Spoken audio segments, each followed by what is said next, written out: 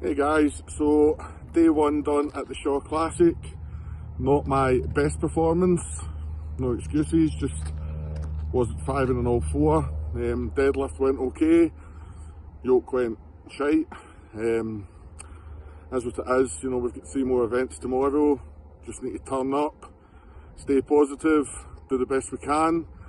Uh, thank you so much for all your messages. Like I've never had so many inboxes uh, genuinely is appreciated, you know. Um, yeah, again, it is appreciated. I mean, we're out here in sunny and hot as fuck Colorado, or wherever we are, I think it's Denver.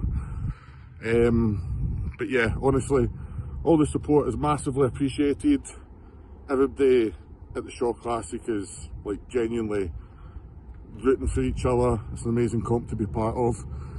Also, just want to say a massive good luck to Emma Jane. She is competing tomorrow at Britain's Strongest Woman. Gutted I can't be there. Wish her all the best. If you fancy sending her a wee message, Princess of Power on Instagram. Bad boy motors here are insane. But yeah, just a quick one guys. Again, thank you so much for the support. I will do better tomorrow. Yeah, that's all I can say. Thank you very much and take care.